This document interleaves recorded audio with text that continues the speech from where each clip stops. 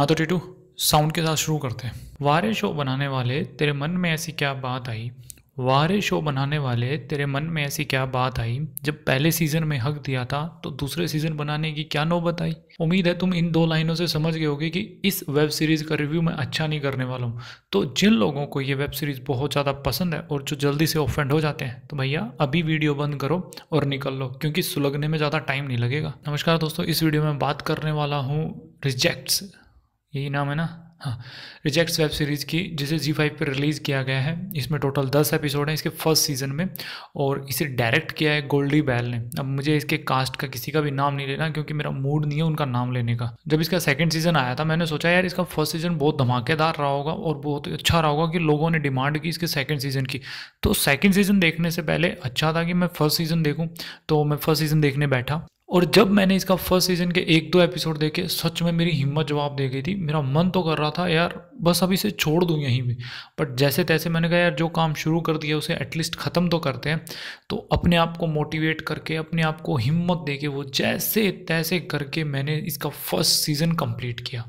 और जब इसका फ़र्स्ट सीज़न ख़त्म हो गया तो मेरे दिमाग में एक ही बात बार बार आ रही थी, कोई कैसे इतना ज़्यादा हग सकता है? और अब इसका सेकंड सीज़न है। मैं तो हैरान हो रहा हूँ और रू भी काँप रही है मेरी। मतलब उसके अंदर कितना ज़्यादा और क्या गंदगी दिखाने की कोशिश की होगी। खैर, छोड़ो यार। स्टोरी की बात करते हैं। अरे स्टोरी नहीं है। चलो, कोई ना करेक्टर की बात करते हैं। अब इसके करेक्टर बड़े मज़ेदार हैं, बड़े फ़नी हैं। ध्यान से सुनना, एक लड़की है। तो पूरे सीज़न में, इसके दस एपिसोड के अंदर, वो यही कंफ्यूज रहती है कि वो लड़की है या लड़का। मतलब शारीरिक रूप से तो वो लड़की है, लेकिन मन से वो अपने आप को मना नहीं पा रही कि वो लड़की है या लड़का। अब समझाता हूँ मैं तुम लोगों को वो कैसे? एक तरफ़ जहाँ पर वो अपनी बेस्ट फ्रेंड निशा के साथ एक रात सो जाती है और वहीं पर वो अपने बेस्ट फ्रेंड निशा के बॉयफ्रेंड को भी पसंद करती है। कमाल है यार। और पूरे सीज़न में बस यही चल रहा है, उसका जेंडर अभी तक क्लियर नहीं हो रहा। मैं सच कह रहा हूँ, ये तुम दिखा रहे हो, किस चीज़ को तुम जस्टिफाई करने की कोशिश कर रहे हो। अगर यही हाल है कई चीज़ों का या कई मनुष्यों का या कई प्राणियों का, वो अपना जेंडर तक डिसाइड नहीं कर पा रहे हैं तो तुम लोग भूल जाओ यार, अपनी लाइफ में तुम कुछ अचीव करोगे या कुछ महान काम करोगे एटलीस्ट अभी तक तुमने अपना जेंडर नहीं पहचाना है तो। और फिर ये स्कूल में चौदह चौदह साल के निब्बा निब्बी ये करने में लगे हुए हैं।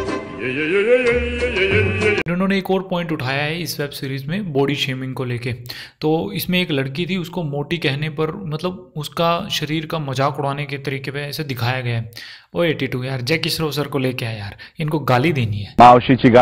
नहीं सच में कैरी ने सही कहा था मोटे को मोटा नहीं बोल सकते पतले को पतला नहीं बोल सकते अंडल को अंडल नहीं बोल सकते साला अपने देश में ऑफेंड होने वालों की कमी नहीं है। और सच कह रहा हूँ तुम जितने भी ये ऑफेंड होते हो ना ये बॉडी शेमिंग को छोटे मोटे जो तुम्हें बोल दिए जाते हैं एक बार ना मेरे दोस्त के ग्रुप में बैठ जाना।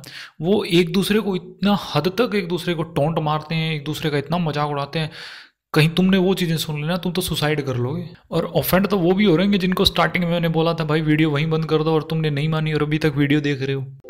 चलो अब दूसरे करेक्टर की बात करते हैं। एक लड़की जिसे मोटी, जैसे वो उसका बॉडी शेमिंग को लेके, जिस लड़की के ऊपर ये लगाया गया है कि भाई इस लड़की को मोटी कहकर चिढ़ाया जा रहा है तो उसका नाम है क्यारा इस सीरीज़ में। एक तो ना यार तुम नाम ना सही रख लो ऐसे ऐसे नाम रखते हो ना जीप टेढ़ी हो जाती है।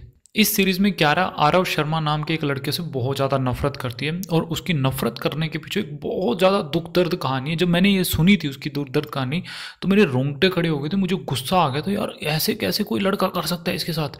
मैं भी आपको बताता हूँ।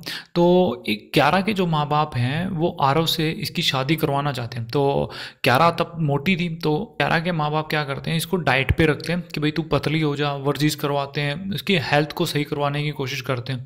तो इस चीज़ से वो ऑफेंड हो जाती है, उसे ये बहुत दुख दर्द झेलना पड़ता है, उसे पतला होने के लिए। तो भाई यही इसकी दुख दर्द कहानी थी। मैं सच कह रहा हूँ, ऐसी ऐसी ऐसी कहानी सुनकर मैं यार कहाँ थे, कौन है ये राइटर सच में यार तुम्हें तो ना इक्कीस तोपों की सलामी देनी चाहिए। ओ एटी टू यार, फिर से जैकी श्रोफ को बुला के लेके आए ये नहीं मानेंगे बिना गाली के। सॉरी अब ये क्या रहा? आरव शर्मा को परेशान करने के लिए अपने बैग में कैंची रखती है, कफ सिर्फ़ रखती है। अबे कौन रखता है? सठिया गई हो क्या तुम लोग? सच कह रहा हूँ, इस सीरीज़ को देखने मैंने करीब करीब अपने सात घंटे बर्बाद कर दिए। इसकी तो अच्छे से बजा के जाऊँगा मैं। रिजेक्ट्स फ़र्स्ट सीज़न में इसके दस एपिसोड हैं। मैं सच कह रहा हूँ, इस दस एपिसोड की बिल्कुल ज़रूरत नहीं थी। इसके पहले एपिसोड में केवल दस मिनट के अंदर ही ये पूरी की पूरी सीरीज़ खत्म की जा सकती थी। लेकिन नहीं, हगने का शौक चढ़ा है ना इसके मेकर्स को। और शौक तो बहुत बड़ी बड़ी चीज़ होती है तो बड़ा बड़ा हगेंगे, इसलिए इसके नौ एपिसोड एक्स्ट्रा बनाए गए। साले चौदह साल के निब्बे, अपने तीस साल की टीचर के साथ ये करने में लगे हुए हैं।